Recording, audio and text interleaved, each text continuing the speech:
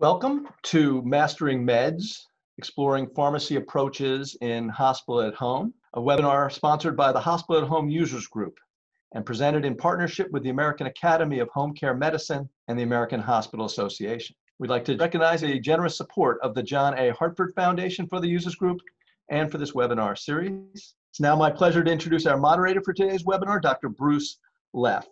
Member of the Hospital at Home Users Group leadership team, Dr. Leff has been a leader of the hospital at home movement in the United States since the mid 1990s when he helped pioneer the model at the Johns Hopkins University in Baltimore. Today, he is professor at the Johns Hopkins School of Medicine, where he directs transformative geriatric research. Please take it away, Dr. Leff. Thanks, John. So this webinar is being brought to you by the Hospital at Home Users Group. This is a group that was formed a little under two years ago. It initially started with existing hospital at home programs in the US and Canada that came together to share best practices and develop work groups to work on issues related to hospital at home program standards, quality indicators and quality standards, and payment and regulatory issues. The user group has expanded in the wake of the CMS waiver, and the URL is there, and we invite you all to go onto that site and feel free to join up in the users group either as a member, uh, if you've taken care of patients in hospital at home, or as an affiliate. Uh, today's webinar is the latest in a series of webinars that were launched after the CMS waiver was announced. The items listed in this slide are the webinars that have already uh, been presented and those webinars, uh, recordings and the slide decks and associated resource materials and technical assistance materials can be accessed on the Hospital at Home Users Group website or on the User Group Technical Assistance Center.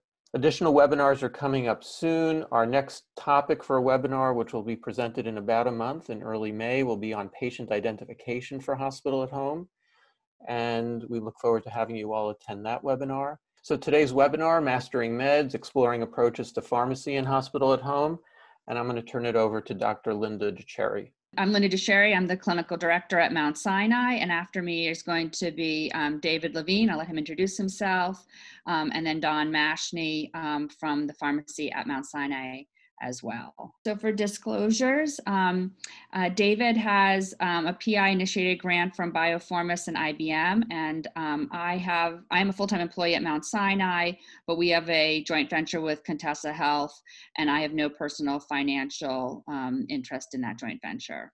So the agenda today um, is going to be. Uh, I'm going to talk about the pharmacy um, program at Mount Sinai with Hospital at Home. And then um, David's going to speak about um, the same thing at Brigham. And lastly, um, Don is going to discuss the pharmacy considerations in general.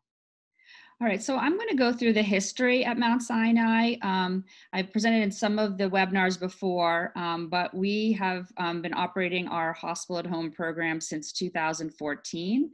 Um, and that has um, undergone many iterations um, for many parts of it, but I'm going to speak specifically about the pharmacy here today.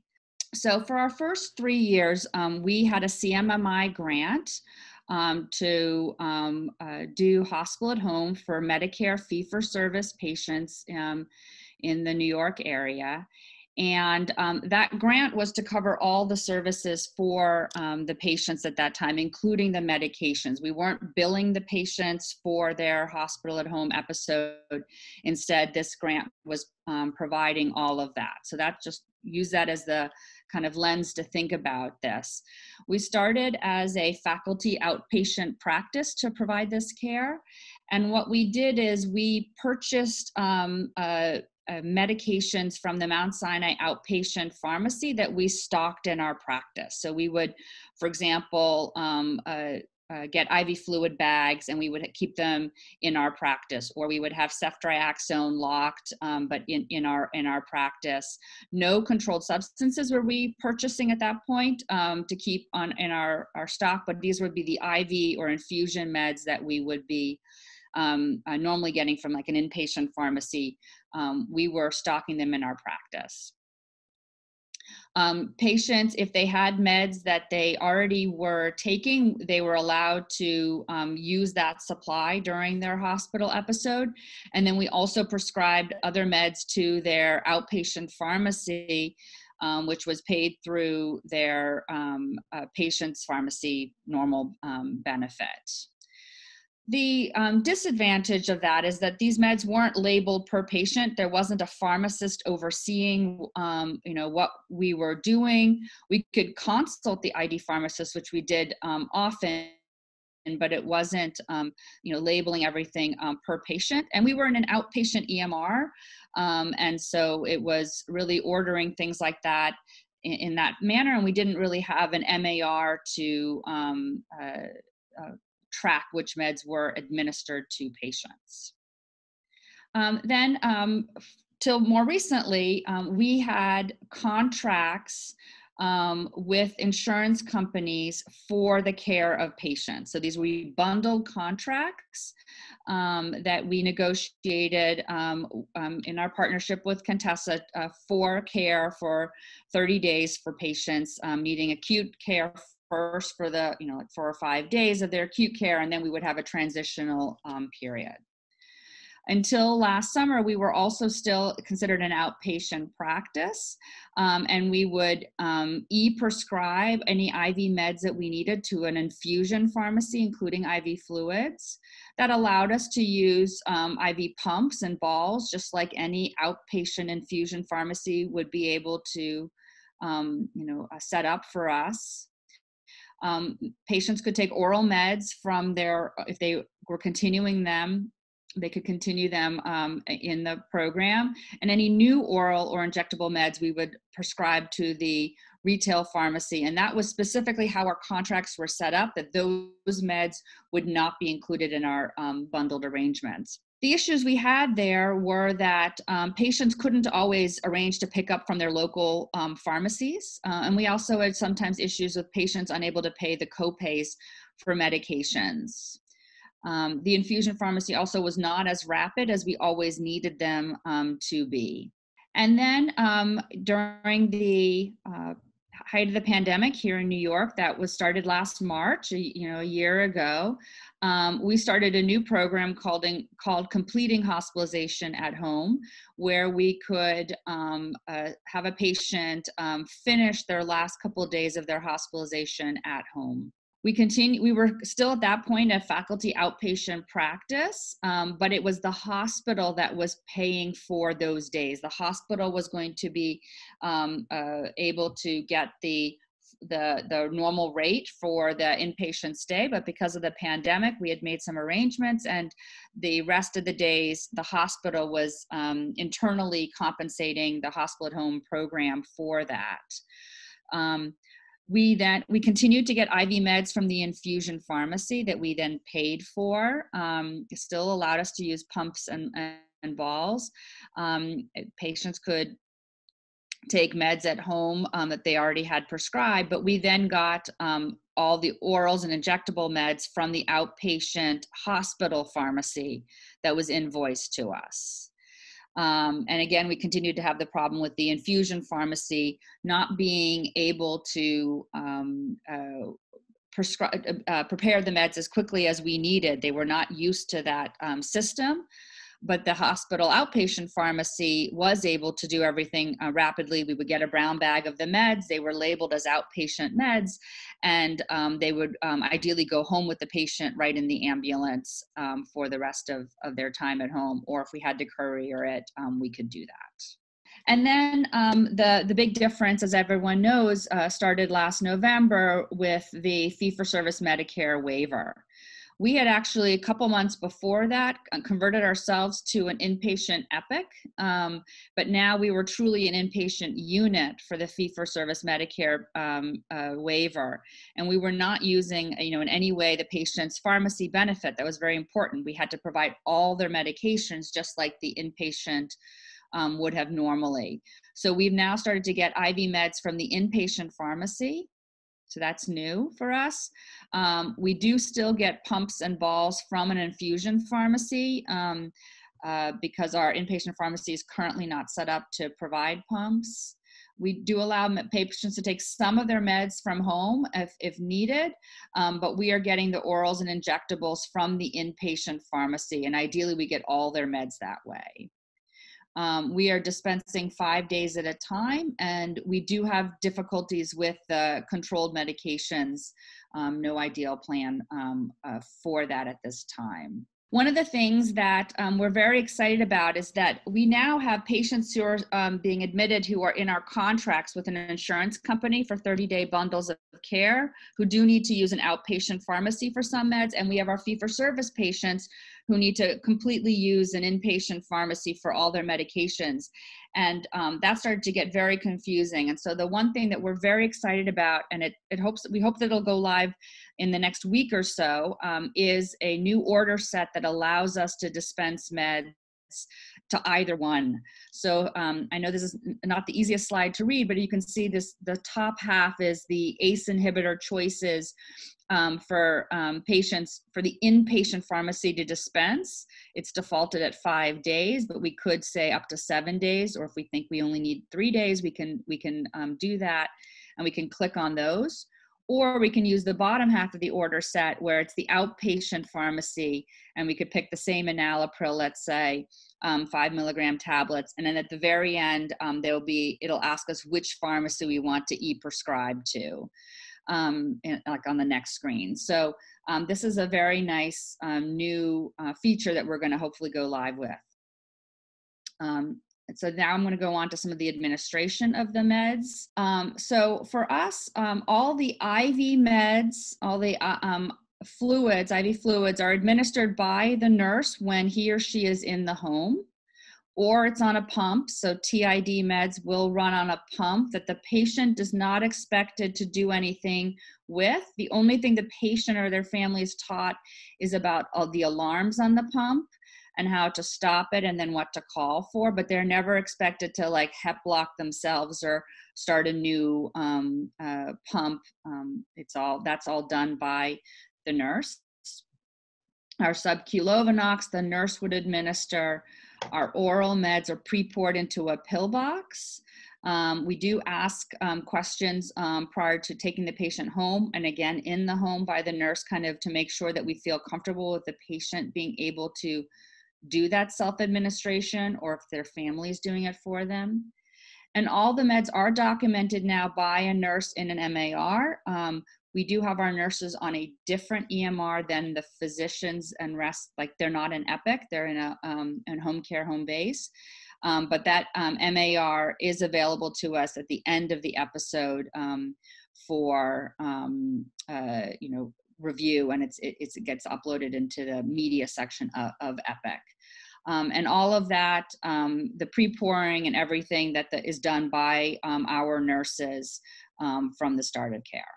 And so, a couple technical issues we have. One of our big challenges for us is that we um, we pre-admit patients. Um, so, um, you know, we have uh, four emergency rooms we admit from, but our, our virtual unit for our fee-for-service patients are only in one of our hospitals.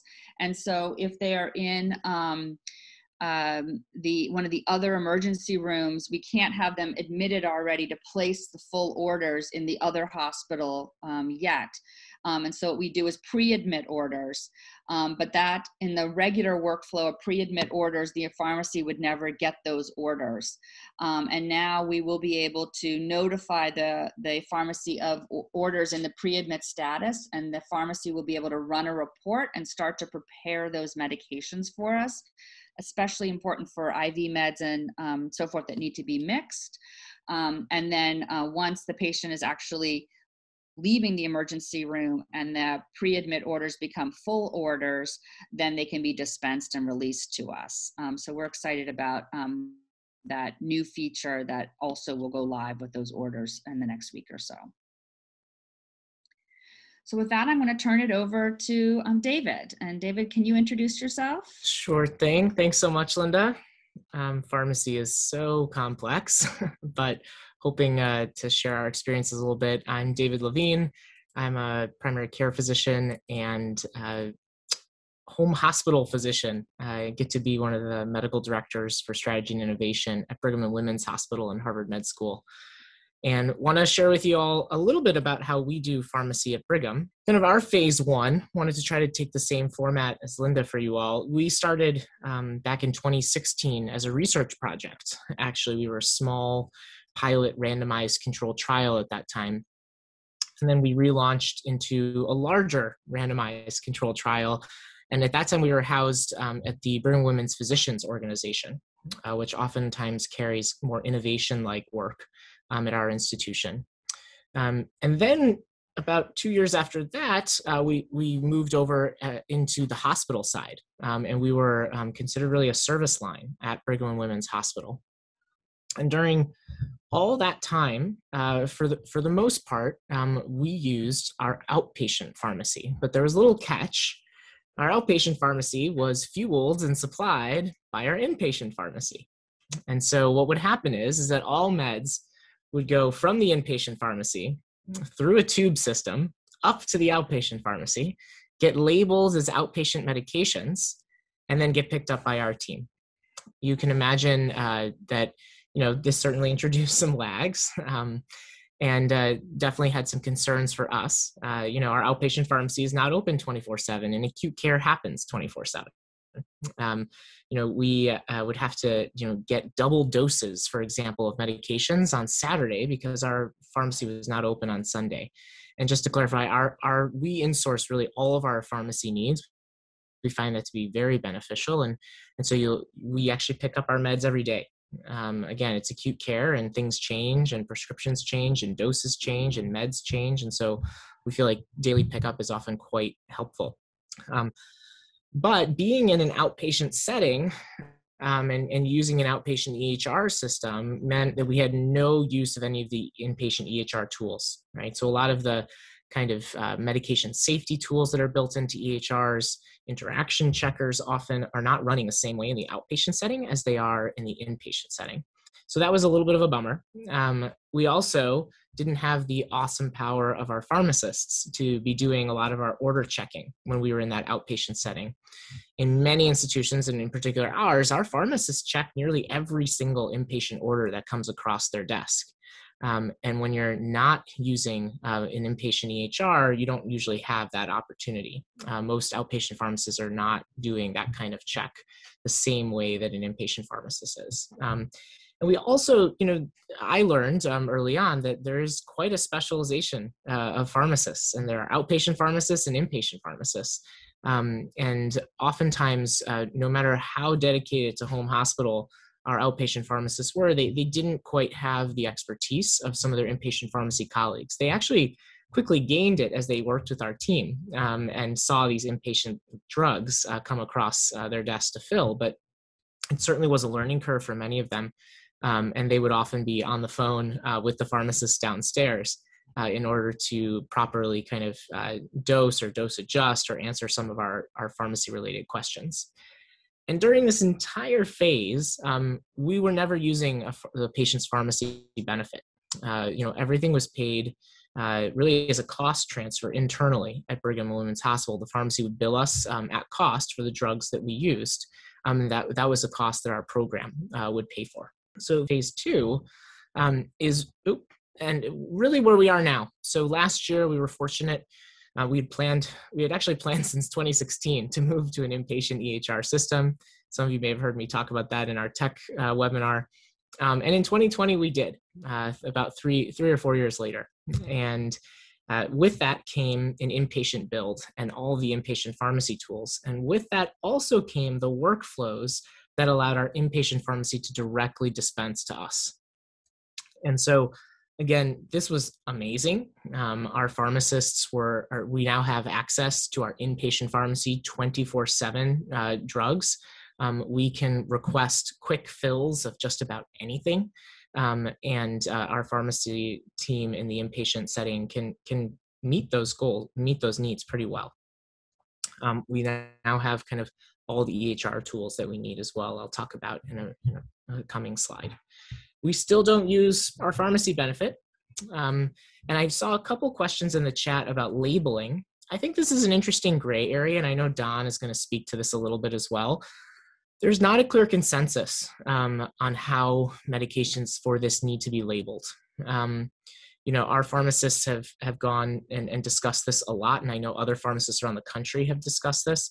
Um, and so, it, but it's it's really, to my knowledge, not exactly clear, um, and that and it's probably because we're in a, very novel space when it comes to this kind of uh, medication work and pharmacy work, and so a lot of folks do think that um, it, it's perfectly adequate to have an inpatient label on your drug other folks think that you need more of an outpatient label on your drug. And oftentimes there's not too much difference between those labels, save maybe for addresses.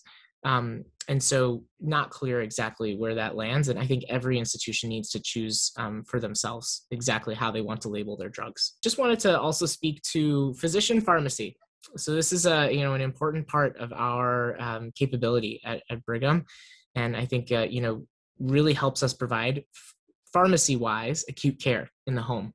And so our physicians carry first and urgent dose medications. We basically have a, a little mini pharmacy on our backs, um, and we can dispense those um, as needed by patients um, and kind of have our workhorse antibiotics, diuretics, and a whole slew of other medications. And our pharmacy collaborates with us uh, to essentially restock this pack um, as it's used. Um, I know a big topic that folks have asked a lot about and are curious about is patient administered medications.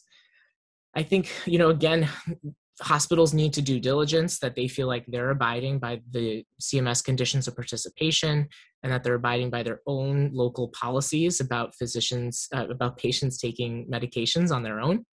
Um, at Brigham, we have a patient administered medication uh, policy, uh, and we abide by it in the home as well. And it works pretty well. And it basically boils down to let patients take meds, um, but check and document very carefully um, what is being taken, when is it being taken, how often, and what dose. Um, these are all um, extremely important. And, and for some patients, it may not be the right thing, but a lot of folks um, patient administered medications is very common um, for us in home hospital operations for pharmacy. Finally, just wanted to again, um, you know, speak to the fact that our inpatient EHR build has been exceptionally important um, for our pharmacy uh, needs, um, whether it's being able to check interactions, dosing, pharmacist review, um, as well as the ease of the interface because it's built for rapidly changing doses and frequencies and, and things of that sort. And not to mention the ability for our nursing and paramedic teams to um, document in a, an inpatient type MAR um, are all super critical, um, I think, to, to delivering acute care. And actually, probably one of the few places where we actually have an evidence base to suggest that safety improves. Um, we're also very soon going to be um, using portable um, documentation um, using our MAR uh, with our cell phones, being able to barcode and scan our meds in the patient's home.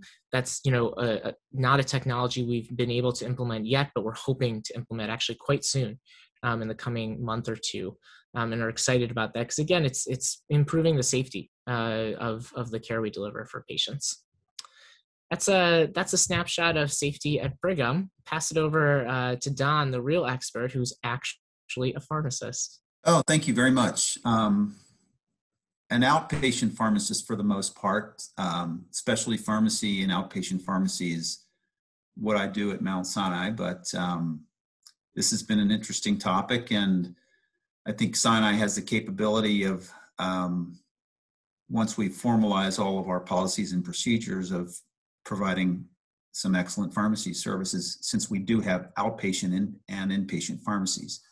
Um, so I think you know one of the key things that uh, where we have some work uh, left to do at Sinai is to develop policies and procedures that will you know guide the growth of our hospital at home services. Um, you know things to consider our patient education. Uh, we've talked about the controlled substances already um, self-administered and in, infused medications, the storage of medications at home, which is very important, the labeling requirements, which um, I'll speak a little bit more to, um, and the documentation of the the, uh, the, the medication administration, be it by the patient or by a nurse, um, and of course the disposal of the unused medications. So all of these things are important considerations. Um, as it's as was mentioned earlier, eh, you know, we still need to. Well, we're in the process of finalizing our um, hospital at home specific order sets. Um, and something to consider on the pharmacy side is the off processes so that we can optimize our efficiencies in the pharmacy and you know minimize provider disruptions to the EHR workflow. And um, another thing to consider too is adherence to formulary. So if those medications are coming out of the inpatient pharmacy, that's very important. Um, also want to document workflows uh, or, or develop workflows and document to accommodate decentralized pharmacy services when those are being used. Uh, Dr. DeCherrie has talked about that. Very important. And um, also capturing pharmacy charges upon uh, administration of the medications or dispensation of the medication. So, uh, um, you know, if, if, we're dispensing five day supplies at Sinai, um, we need to be assured that the, the charges will drop accordingly.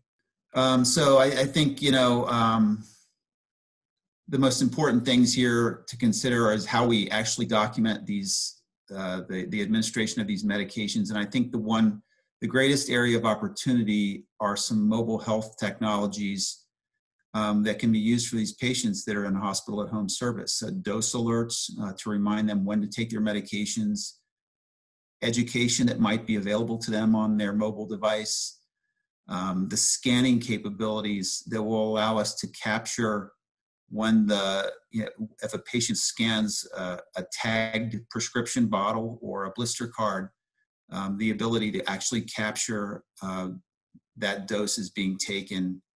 Um, and then, of course, side effects and symptoms reporting capabilities would be um, ideal if, if we could actually capture that um, electronically uh, using a mobile device. I think it's really important that um, we need to consider what kind of medications the patient already has in their home. Um, over the counter meds, nutritional products, uh, prescription medications already in the home. I think it's important that we actually record and document all the medications that are in the home to make sure that there's no duplication in therapies and drug interactions that could be occurring between medications dispensed from a retail pharmacy or from the outpatient pharmacy at the hospital or the inpatient pharmacy. Um, refrigeration and storage of the medications, um, ideally, what we'd like to have is our temperature monitored refrigerators um, in the patient's home. Um, and dedicated specifically to medications, not necessarily stored with foods. But obviously, that's not a very practical solution right now. But it's de- it's definitely important that we segregate medications in the patient's refrigerator at home, uh, potentially putting them in, in, plastic food storage bags when there's re- uh, refrigeration that's required um, of medications, and and of course, if the meds are stored um, at room temperature, we want them in a cool, dry space not a bathroom. And typically, room temperature is considered uh, 68 to 77 degrees Fahrenheit. So, typically, what you'd find in your home, but um, oftentimes the labeling on a medication will say that excursions are permissible between 59 and 86 degrees. So, if it, if it happens to sit uh, on a windowsill exposed to the sun at higher temperatures for a short period of time, that's probably okay. So, the legal and regulatory considerations for this are complicated um, labeling requirements for a medication that's administered in the hospital are very different from the labeling requirements for outpatient medications dispensed at a retail pharmacy. Um, and the state boards of pharmacy requirements, they may evolve differently for hospital at home patients.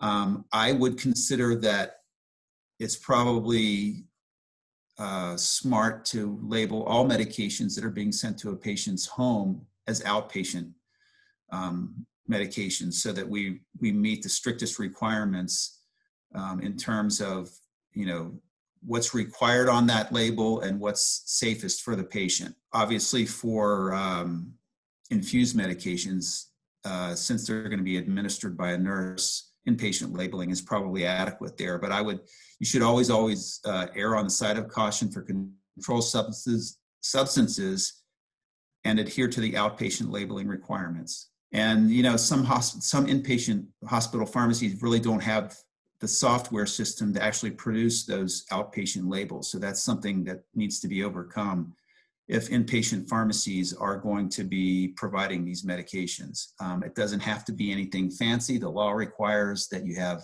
certain types of information on the label. It can actually be handwritten on the label. Um, doesn't look terribly professional that way, but there are some safety issues to consider when you send home send uh, medications to a patient's home if those meds aren't labeled properly. I just want to address some of the payer considerations here. Um, in the retail pharmacy world, we're not allowed to actually bill medications to a patient's outpatient pharmacy benefit when the patient is under hospital care. Um, this is, uh, you know, the the enforcement of this is.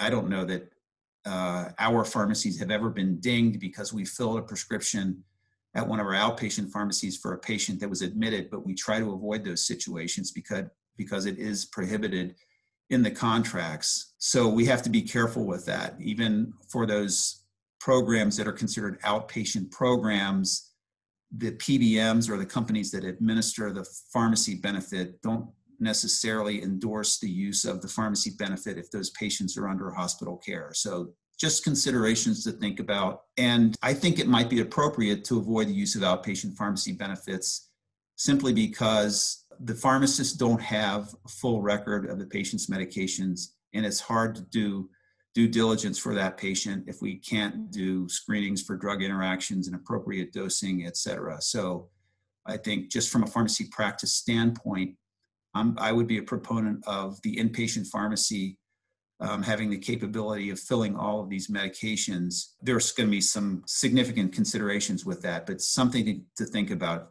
Just in terms of good pharmacy practice, it should be one pharmacy providing all the medications for these patients. I just want to point out that there are opportunities for medications that are typically infu- uh, infused intravenously. And I, I've given you a short list of medications that be, can be given by IV push um, that could be an advantage to you uh, in delivering care for these patients. Um, you may be aware of these already, but these are meds that are typically given by the intravenous route, but we can also give them by the IV push route. So I just wanted to make you aware that there are opportunities there. And um, when in doubt, check with your hospital pharmacist and they'll be able to provide you this, this type of information um, that might be, be more convenient and cost effective in delivering the medications to the patients in their home. Great. So um, this is Bruce Leff again. Just a big thanks to David, Linda, and Don for terrific presentations. We now have just a little over 15 minutes for for questions, and uh, I'll ask Linda and Don to leave their videos on.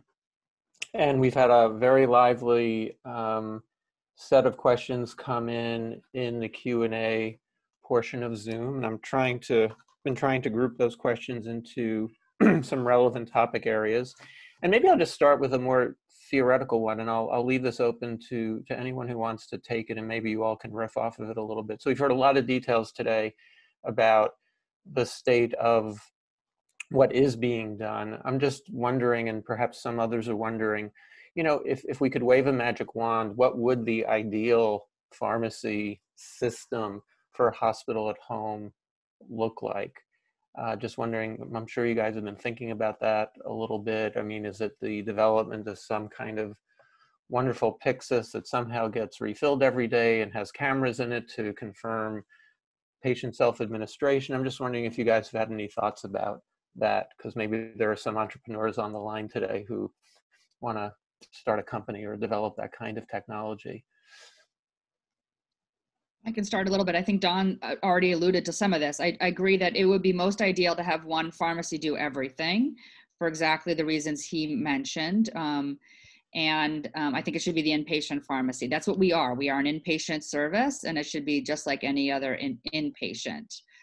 I'm um, probably a little more agnostic as to the um, the method of, of doing that. You know, David brought up that eh, the nurses are coming to Brigham every morning, picking up the daily supply of meds for the patient and bringing them to their home.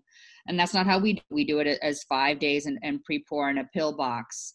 Um, Uh, but I, I do agree that our system is not ideal with regard to two EHRs. And I would love this whole idea. I mean, I saw that in Australia where um, people had Epic Rover, the nurses had Epic Rover, and they were um, scanning the meds just like a nurse would scan the meds at the bedside prior to putting it in the pill cup for the patients, you know, right then and there. I think that would be wonderful. I, I, that's something we should aim aim towards. Um, yeah, Linda, I couldn't agree more. I mean, that's that's the pilot I was alluding to, where we'll be barcoding. We are going to be um, trying that with an Epic Rover um, type program. Um, so we're really excited to to try that out. It's been a long time coming to get that all set up, um, but it makes a lot of sense. Like it really, you know, if we want that same level of accuracy that we demand in the inpatient setting of barcoding, because uh, we have a great randomized controlled trial showing that it reduces medication administration errors. Like we should we should probably be there in the home too. Um, obviously, it's it's harder, um, but uh, we're we're excited for that. I think I'll also just add, you know, being a little future thinking. I also saw a, a question on this in the Q and A. I, I think you know we would like to see the day where we are able to put a, a little mini medication administration system in patients' homes. Um, I, I, think right now there are some technologies out there that that do that. Some of them are quite cumbersome to set up. Um, you know, most of us have length of stays at around four or five days. If it takes you an hour to set up, you know, a patient 20 patient medications, you can't you can't do that. Uh, it doesn't make sense for a four day length of stay. So just take the machine back and bring it to another patient's home. Um, but I do think that there are are some nice technologies out there as well as some technologies that are developing right now where we will be able to, you know, essentially create a remotely controlled uh, kind of me- uh, medication administration system.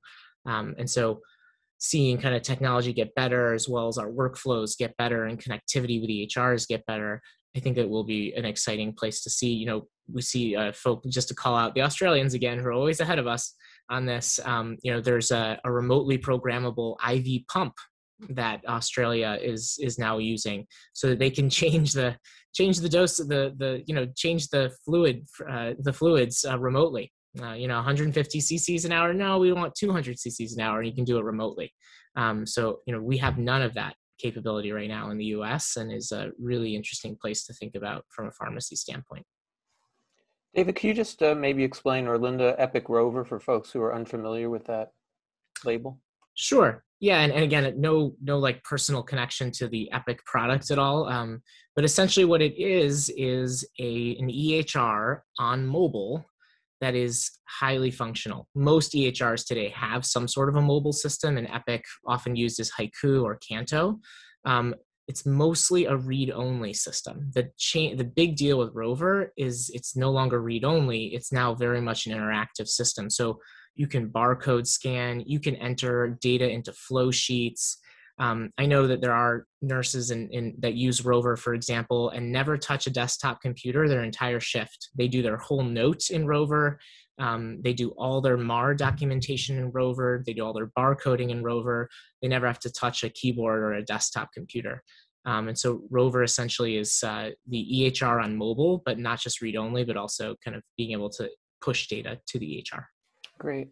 So um, next question. Um, there was a question in the chat and, and just wanted to get Don's opinion on this. So, so far, it, it, I don't think programs are sending pharmacists to the home, right? They're doing their uh, pharmacy duties um, the way pharmacists often do. Is there, do you think that there is a role for that in hospital at home? Are there use cases for that where that would be advantageous? I, I was just curious about that. Oh, absolutely. I think, um, I think to be able to connect a hospital pharmacist with the patient after they're admitted to the hospital at home service where they can review the medication um, profile, uh, the the uh, EHR record, review medications that the patient might have at home, um, any kind of over-the-counter products the patient might be using. Um, I think that would be very valuable to incorporate a pharmacist into this service. And um, I think also the integration of mobile technologies with the EHR, I think that's going to be a, a huge area of opportunity too. Um, that would provide patient education, uh, documentation of administration of medications. I, I think there's a lot of opportunities for pharmacists to get involved. I, I mean, just at a minimum, if there was a pharmacist assigned to the hospital at home service, you know, some outbound calls to those patients to review their medications would be very helpful. And uh, I, I, think it would go a long way to improving outcomes if the importance of taking those medications was stressed. So yeah, that huge area of opportunity there. Thanks, Don. Um, there were lots of questions in the Q&A on delivery of meds to the home. I think especially in the context of, you know, changing regimens. David, you mentioned your inpatient pharmacy is now available to you 24/7 and they can fill anything. What happens at two in the morning if something needs to go out to the home? How are how are the programs? How are you, both of your programs dealing with that that last mile delivery piece?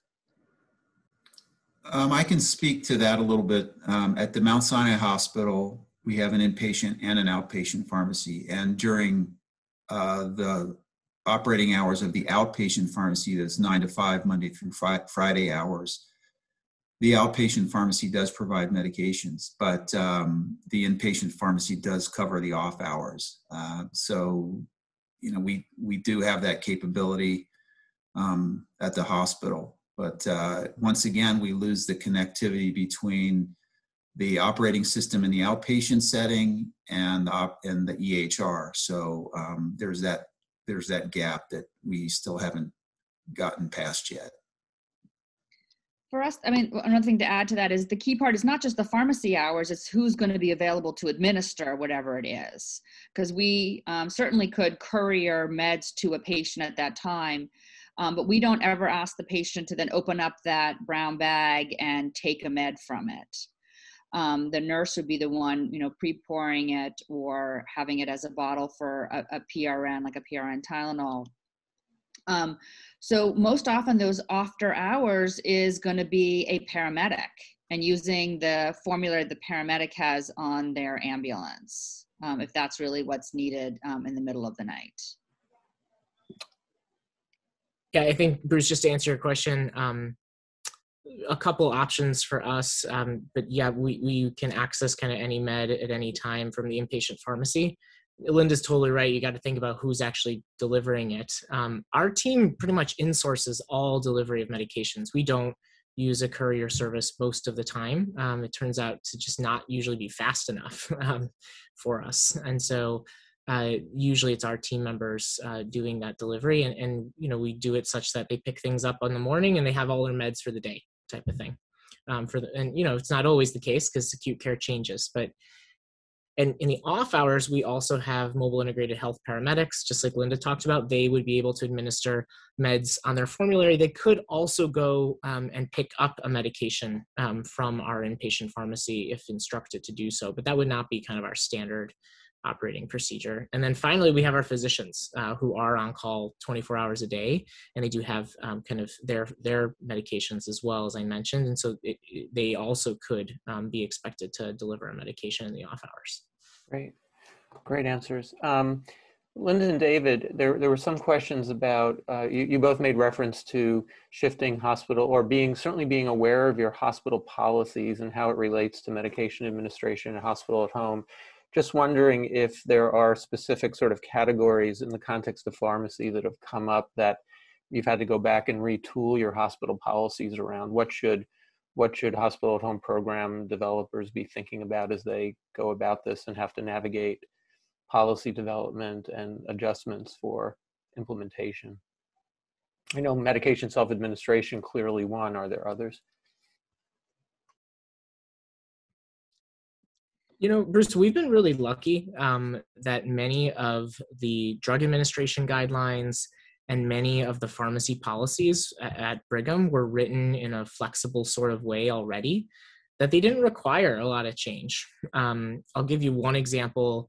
Uh, Don mentioned kind of IV push. Uh, at Brigham, used to be prior to the the kind of crisis uh, in uh, in Puerto Rico, um, th- there actually used to be almost no allowable IV push in the hospital. Um, and then once that happened, many drugs were moved to IV push um, kind of DAGs, drug administration guidelines.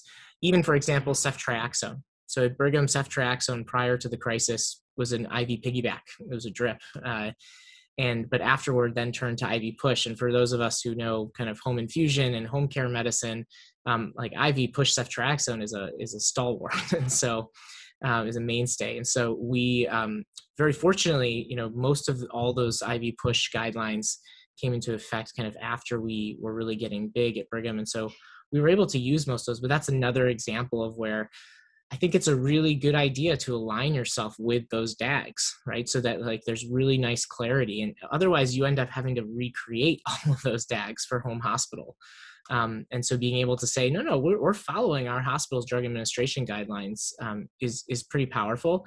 Um, but it may, depending on your hospital, require some amendments to those, um, and and that's pretty reasonable. Uh, for us, we've been pretty lucky and and haven't had to do that for for most of our drugs.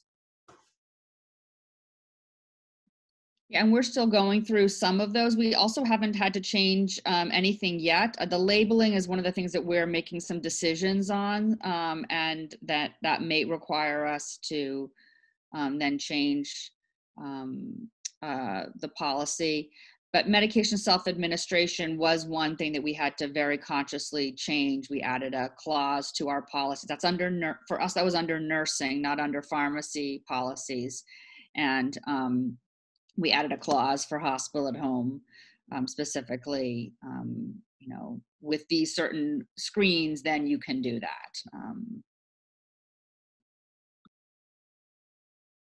just picking up on medication self-administration there were a bunch of questions about that in in the q&a and two big issues. Number one um, do you have any sort of litmus test to determine patient ability to actually engage in self-administration, and then the documentation of uh, meds that are self-administered, ways of how, how you all have been approaching that.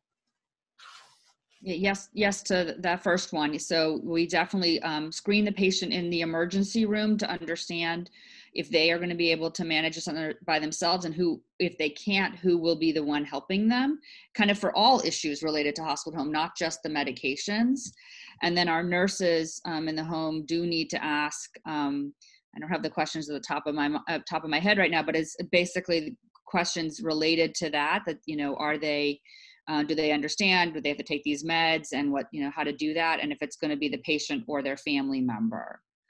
Um, and documentation it's um, the nurse fills the pill box and then the nurse um, reviews the pill box on the next visit to see if indeed was taken and then documents that it was taken on that next visit. Um, so that's how our our meds are documented. Yeah and bruce we because we're kind of fully in the in inpatient mar for our nurses and paramedics um, there is a, a nice way inside of the mar to document that it was patient administered um, and that they kind of attested to taking it. But it is a really important part. And I can tell you on our home hospital call today, we were discussing how important it is to like onerously and one by one confirm medications that were self-administered. Um, obviously, you know, big big safety issues can happen if if that's not clear. Um, and so it is really important to make sure you have a patient who's capable of doing that, um, or a caregiver who's capable of monitoring it, um, or be able to uh, and and as and then document that it happened that way. Great. I think we're kind of at time for the Q and A portion of the webinar. So I wanted to thank again our really terrific panel, Don, Linda, and David. Thank you so much for sharing your wisdom and uh, taking all these questions. And uh, just to tell the audience that um, uh, you, there, we have our, our ongoing uh, technical assistance site at the Hospital at Home Users Group and at the Technical Assistance Center. The URLs are on the slide. Uh, the featured resource uh, recently created is the annotated CMS waiver uh, document, which I think you'll all find useful, especially if you're in the process of putting together your application for the CMS hospital-based uh, payment waiver. Uh, if you've exhausted your uh, Netflix um, uh, to watch list, uh, remember here is a list of the webinars that we've already done that are available on, on the site. Just to let you know that the World Hospital at Home Congress meeting is coming up uh, in mid-ish April, start from uh, April 19th to the 21st. This meeting was supposed to take place in Vienna, Austria, but it will be virtual this year. It's a terrific meeting. Uh, the last World Congress uh, was held in Madrid two years ago this time of the year. Uh, at that meeting, there were over 450 participants. My bet is that we're going to have similar numbers this year for the virtual meeting. You can get to hear what colleagues around the world are doing, and there's really some terrific, terrific progress being made in the model uh, around the world. And you can uh, you can get to meet your colleagues, uh, you know, international colleagues from Spain and France and Australia, New Zealand, everywhere. It's a, it's a really terrific group, and you'll feel like you're with your tribe if you attend. We also have the Hospital at Home Users Group annual meeting. That's the uh, folks from the US and Canada. Uh, and so we advise you to save the date. That will be October 28th, virtual annual meeting. Uh, and more to come on how to register for that, but please save the date, October 28th. And uh, thank you. So um, uh, join the users group. You can fill out the form on the users group site. Uh, chat with us about topics for our next webinar. If there are things you want to hear, please tell us. The reason we're having the, the pharmacy webinar today is that there was a groundswell of demand for that. And there's more help on the, tech, on the Technical Assistance Center, a lot of useful resources and tools for hospital home implementation. So thanks again for uh, joining us today. We really enjoyed, um, enjoyed having you. Great questions, great participation. And we'll see you next month for the next webinar. Take care, everyone.